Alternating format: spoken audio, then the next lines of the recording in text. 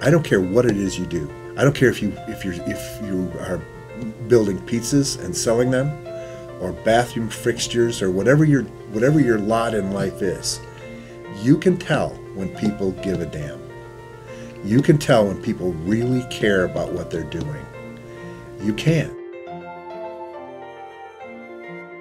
Every play that we make is made from scratch, whether it's a new play or not. It takes a lot of artistry and a lot of support, but it takes people who really, really care. And everybody in this building, we like to say, bleeds purple. Everybody in this building cares about the work, they care about each other, and they care about doing the best material that we can. And when everything works, the actors, the story, the design, there's really no experience like it.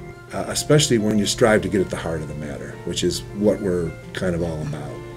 We want you breathing and, and reacting and involved in the story and wondering what's going to happen next. You're our partners in this process. We literally are partners in this endeavor. We can't do it without you. And uh, like I said, we're breathing the same air, we're living through the same story. I can tell stories about people whose lives have been changed by sitting in those seats, you know. I mean, uh, if we do our work, I mean, we're entertainers. But if we do our work right, and the stories that we tell are good stories and well told, and the shows are well made, somebody's life will be changed by what they see on there. Theater has that kind of power. Purple Rose is really vital.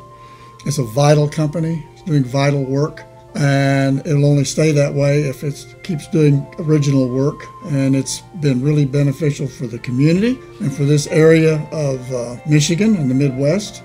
Jeff has said this important theaters do important plays, and and every once in a while we like to tackle something that will uh, take us to a place we've never really been before, and that's what this fund will do. That's how you keep it going.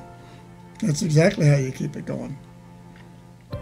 Thank you for making all this possible. Thank you for seeing to it that we have an incredible home and for giving us the opportunity to share Jeff's vision and passion with, now it's been over a million people. We would not be able to do this work the way we get to do it without your support.